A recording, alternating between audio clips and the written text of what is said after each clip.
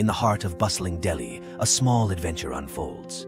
Arjun and his toddler sister Preeti, playing under their mother Asha's watchful eye, find themselves wandering through the city's vibrant streets. As the city's wonders turn to challenges, with hunger and weariness setting in, Delhi's kindness shines. From the street vendor's fruit to the rickshaw driver's help, every gesture guides them through their journey. Meanwhile, a frantic search begins. Asha, with the help of police and locals, scours the city for her children. The vibrant streets now echo with concern and hope.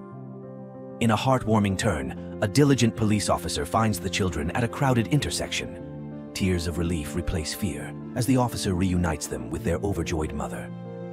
This tale from Delhi, a tapestry of emotions, reminds us of the strength of community and the enduring bond of family.